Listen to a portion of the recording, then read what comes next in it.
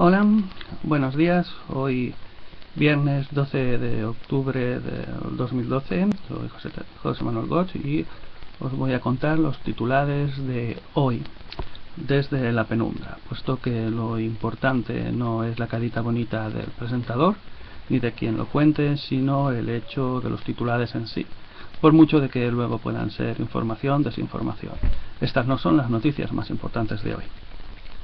Vamos a comenzar. Otro golpe a la democracia. La Junta Electoral Central ha notificado en la tarde de hoy una resolución que exige a los partidos sin representación parlamentaria la recogida de avales para poder presentarse a las elecciones convocadas el próximo 25 de noviembre en Cataluña.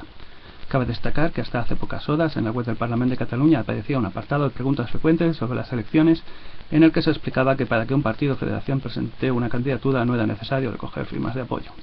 Está claro que esta gente lo que hay que hacer es que se presenten ellos solitos, que su 10% les vote y digan que tienen mayoría absoluta y que les han votado todos, porque esta democracia es un chiste. Seguimos. Edoski compra Capravo. La cadena de distribución Edoski ha adquirido a la familia Botet el 16% del capital de Capravo que no controlaba, por lo que pasa a poseer la totalidad del capital de esta cadena de distribución de origen catalán. Capravo realizará una apuesta empresarial y comercial en favor de los productores regionales allí donde está implantada, Cataluña, Madrid, y Navarra con los proveedores locales.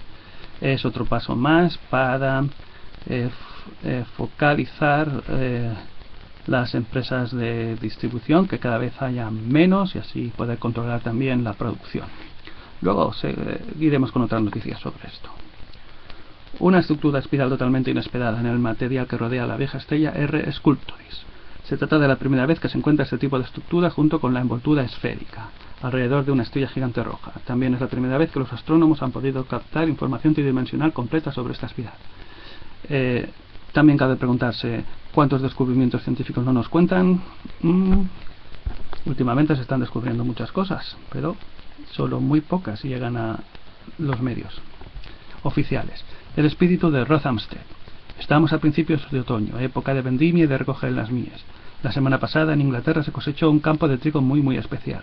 Como un embarazo de alto riesgo, haber conseguido llevar a término la cosecha despertó un clima de euforia entre los agricultores, no, entre los científicos, puesto que era un campo experimental de trigo transgénico donde se intentaba crear una nueva variedad resistente a los ácidos sin necesidad de insecticida, es decir, una variedad mejor para el medio ambiente. ¿Mejor para el medio ambiente? De verdad, no sé si estos científicos están acabando siendo unos monstruos.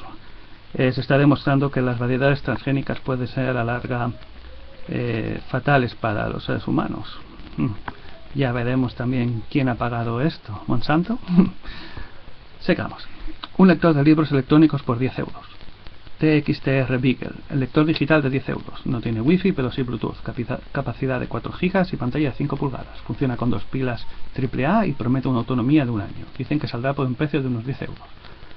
Hombre, es una buena noticia para los que les guste la lectura digital. Y romper los precios siempre está bien, a la baja, o quizás no está bien a la baja, ¿no? También habría que pensar qué es lo que cobran los esclavos que fabrican los productos digitales para que se pueda conseguir algo tan barato. O quizás se consigue esto tan barato y los otros aparatos podrían conseguirse con este mismo precio y las empresas tipo Apple, Amazon están haciéndose de platino. Sigamos. El 15M a diputados alemanes. Les pedimos ayuda. Aquí no nos escuchan. No pidan más recortes para la gente. Si tienen que recortar algo, recorten a los responsables de la crisis y a los grandes especuladores que la han creado. Dice el documento de 48 páginas. Los indignados ya habían avisado que iban a ser críticos y que dirían a los diputados que los bancos alemanes son los beneficiarios de las miserias españolas. En el dossier que han entregado a los alemanes escriben, les pedimos su ayuda, nuestro gobierno no nos escucha. Está todo muy bien, pero también es como saltar de la sartén al fuego. Además, esta gente tendría que darse cuenta de que los diputados alemanes tampoco van a hacer mucho, puesto que también son esclavos del sistema bancario. Eh, buscar el, el proyecto Interalfa de principios de los 70, la construcción del euro a partir de ahí, y sabéis lo que os estoy diciendo. Las operadoras dejarán de ganar 42.000 millones en SMS por culpa de WhatsApp. Hoy en día todo el mundo tiene móvil y cada vez más usuarios optan por un smartphone con un plan de datos asociado, algo que ha disparado el uso de los servicios de mensajería instantánea. Entre las herramientas más utilizadas destaca Viber, Chatón, la española Spotbro, Skype y WhatsApp. Todas estas herramientas tienen una particularidad en común, transmiten datos de manera instantánea. Sí, otra vez llorando estos señoritos de las operadoras. Por supuesto, no hablan de que es una mierda las conexiones que están vendiendo de Internet, que en realidad no es Internet porque las tienen capadas. Y tampoco hablan de sus actuaciones ilegales cuando dejas de pagar un recibo, uno solo, y a los cinco días te cortan eh, el servicio. Totalmente ilegal. O si es legal, es como ya sabemos a quién han pagado para que sea legal. Sigamos. Naranjas de Argentina en Mercadona. Sin precio el campo al cementerio. El gobierno protege al ladrón o políticos igual a trileros. Han puesto como ejemplo que con los 1,20 euros que perciben por una caja de 20 kilos de naranja, imaginemos a qué precio las encontramos cuando vamos a comprarlas, ¿eh? solo podrían comprarse un café en un bar o que necesitan vender hasta 50 kilos de patata para compensar los 6 euros que cuesta medio litro de productos fitosanitarios. Eso que hablaba antes. Quien controla eh, la distribución ahora mismo está controlando la producción y ya lo dijo el criminal Kissinger, quien controla la comida, controla el mundo. Y ya, para terminar, el señor Juan Ramón Lucas, hay un poder en la sombra que mueve cosas sin que los ciudadanos podamos hacer nada. La sensación que tengo mientras esperamos a Juan Ramón Lucas, Madrid 1958 en el Círculo de Bellas Artes, no es la de estar a punto de entrevistar a un personaje público. Me invade más bien la mezcla de inquietud y anticipación de quien aguarda la cita con un viejo amigo y es que para el que suscribe, como para millones de españoles, el presentador de días como hoy conseguía sobre todas las cosas transmitir la tal sensación de cercanía que más de una vez me sorprendía a mí mismo felicitándole o discutiendo con él en nuestra cita diaria. Este señor, eh, sí, debe ser muy famoso en la radio y eh, sencillamente acaba de titular ha descubierto la sopa de ajos. Y también es una idea que se mete a la gente. No podemos hacer nada, no podemos hacer nada. Pues lo siento, podemos hacerlo todo.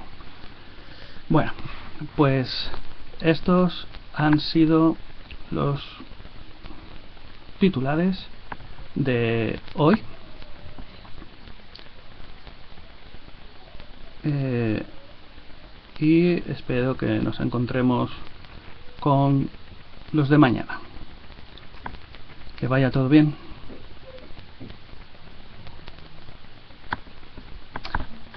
Mierda! No funciona.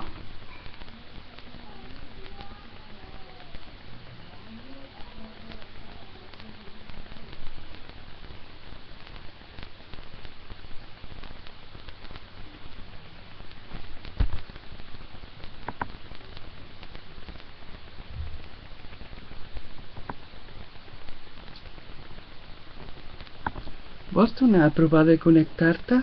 Torna a.